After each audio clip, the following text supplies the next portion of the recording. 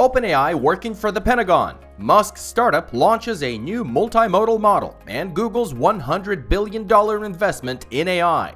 This, plus space robots, miniature brain chips, and more in this week's news update. Let's get it.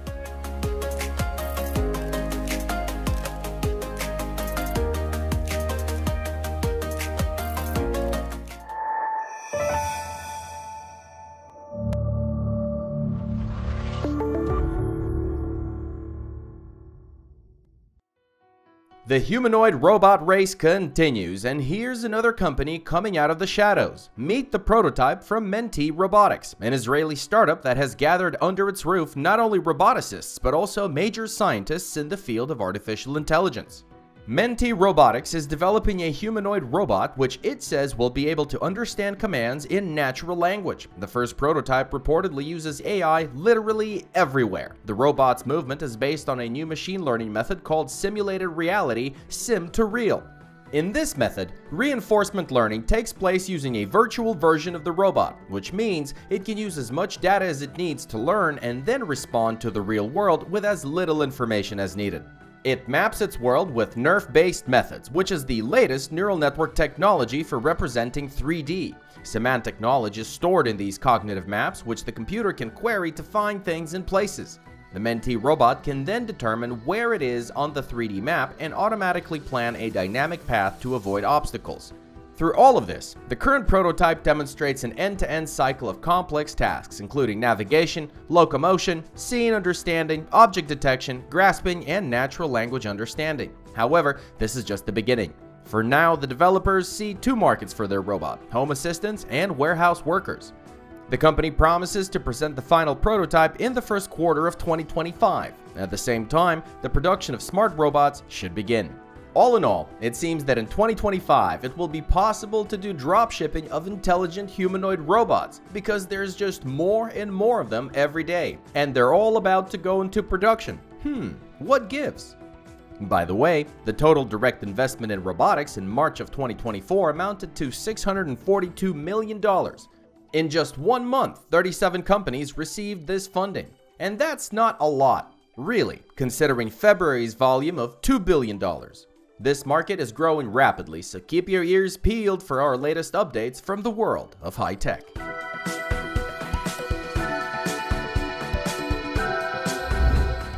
Details of Sanctuary AI and Magna International's collaboration have just been released. The developers are not only going to test their humanoid Phoenix at Magna's factories, but also produce the robots there themselves. After all, the robot will soon become a commercial project. In the beginning, the factory will have a robot on wheels. This is due to the fact that Phoenix will specialize in complex handling situations, not just dragging things from place to place. That is, movement will not be as important as working with its hands. Then, as part of the experiment, the robot will collect data in a commercial environment to generate autonomous behavior, and when the robot's AI becomes as capable as, say, GPT, that is based on input data, the company will release a new version of Phoenix, more versatile and with greater capabilities. This is all expected to happen as early as, you guessed it, 2025.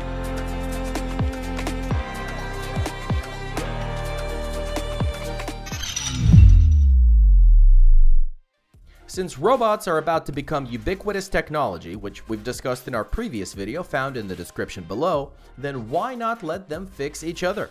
That's what engineers from the Unleashed project decided to do who recently presented the kitchen skills of their open source Aloha Learning home robot. Engineers from Google DeepMind are also involved in the project. They are now teaching the bots how to tie shoelaces, hang laundry, and repair other robots. The robots at each station are fully autonomous. For instance, after teaching one bot to hang up a shirt, engineers threw a sweater into its work area. The bot was then able to generalize its knowledge and handle the new task without prior training. But the most impressive demonstration was replacing another robot's fingers, bringing back memories of Skynet, especially since we're about to be introduced to general artificial intelligence. What do you guys think about this? Should robots repair each other themselves, or should we leave this to humans?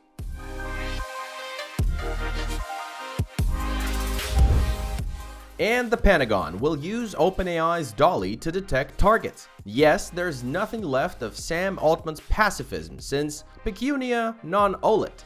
which is why, after receiving investments from Microsoft, the company started to cooperate with the military. How can generative AI be used in this area? Well, the US Air Force is developing the JADC2 system, which is supposed to integrate data from all branches of the military, including data from drones, radar, and tanks to coordinate military operations. Microsoft sees the potential of DALL-E as a tool to train this system, so that the neural network could create artificial images that would improve visualization of the battlefield and help systems more accurately identify their targets. So far, algorithm training is yet to begin, at least according to public sources, and some are even skeptical that it will at all, since the military doesn't tend to trust existing AI models. Whatever the outcome, we already talked about Sam Altman's plans for AI world domination in our video found in the description below.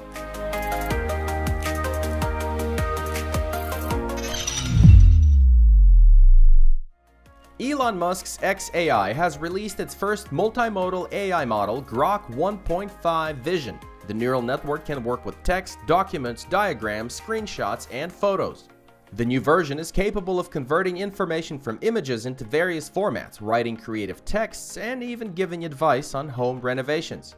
The company claims that Grok 1.5v outperforms other AI models in various tests, but we already know that this is not always an indicator. Such superiority is traditionally boasted by Google, but in practice, the most popular model still remains GPT. If we talk about real-life examples of Grok's work, a user can share an image of a flowchart and the model will then translate it into, for instance, Python code. By showing a nutritional label, the user can find out how many calories they'll get from certain portion of a product.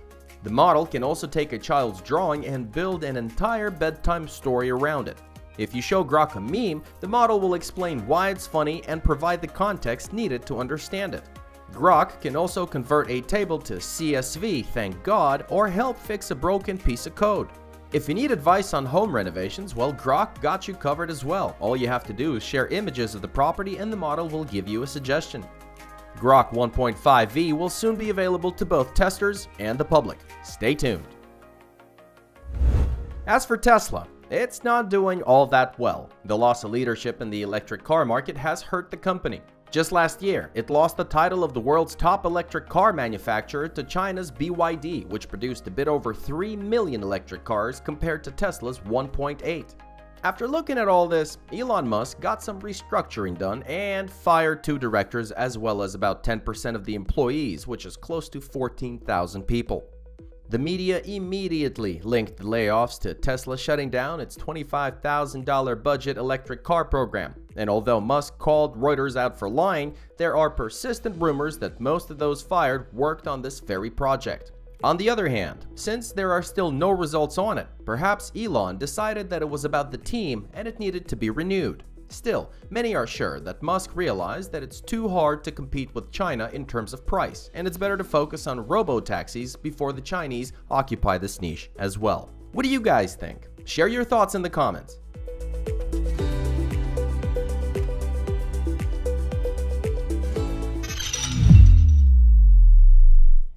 The AI race is in full swing, ladies and gentlemen. After the announcement of OpenAI and Microsoft's plans to invest $100 billion in a supercomputer, the director of Google's AI division, Demis Hassabis, said that over time the company plans to actually invest even more and will eclipse the efforts of OpenAI and Microsoft. Quote, we're not talking specific numbers, but I think we're investing more over time. End quote, Hassabis responded at a TED conference in Vancouver.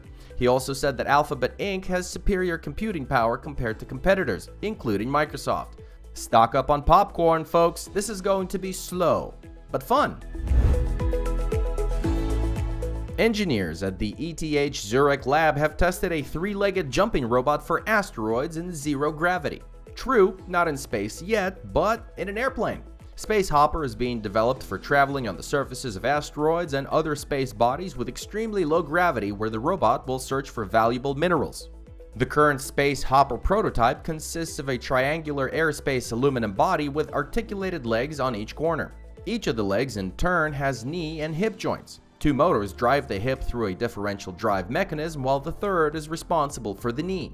The robot is omnidirectional and is equipped with deep learning based software. It's responsible for joint leg movements, maintaining proper body orientation during flight, and performing controlled landings at predetermined locations. During weightlessness tests, the robot jumped in a certain direction and tried to maintain the correct body position in the air. Such a shame the old Atlas had to quit its somersaults. NASA, meanwhile, has finally approved the launch of the Dragonfly rotorcraft to Saturn's satellite Titan. There, the vehicle will have to explore the most promising areas in search of signs of chemical evolution that preceded the emergence of life on Earth. The project will cost NASA over $3 billion and the launch date has been set for July of 2020. You guessed it. No, not 25, but 28. The launch date has been set for July 2028. The rotorcraft has eight supporting propellers and flies like a large drone. Flying from place to place, the vehicle will study the chemistry of the area using a backscatter system and a mass spectrometer. It will also record local weather patterns and seismic data, which will help learn more about Titan's internal structure.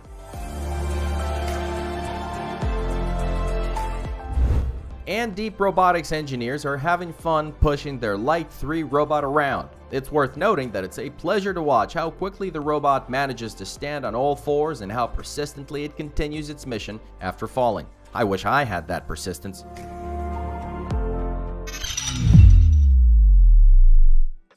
In the wake of the boom of humanoid robots, the Karlsruhe Institute of Technology decided to remind everyone they're here. The engineers are trying to make Armar robots smarter by using the Makeable platform. The point of the platform is to optimize the exchange of acquired skills and experience between robots and contexts.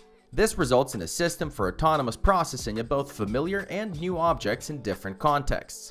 Practical tests confirm its effectiveness in a number of scenarios involving different robots, in tasks such as object grasping, coordinated use of both hands, and skill sharing between humanoid robots. All in all, it's a work in progress, and here's another humanoid robot gearing up to become successful.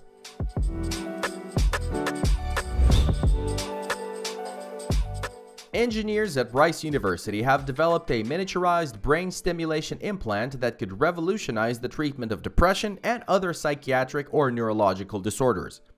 Obviously, going for a jog or drinking 3 cups of water a day is irrelevant at this point, so the pea-sized device uses pioneering magnetoelectric power transfer technology to deliver power wirelessly to the brain.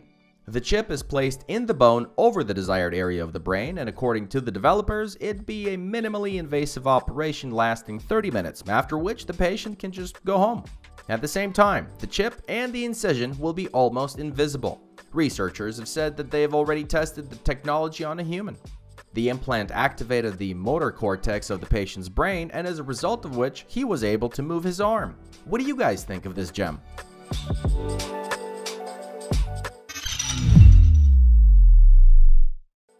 Subscribe to the channel and send us your love by liking this and other videos. We also got a Telegram channel where you can always find the latest news and the coolest videos. So stick around and stay tuned for more from the world of high tech.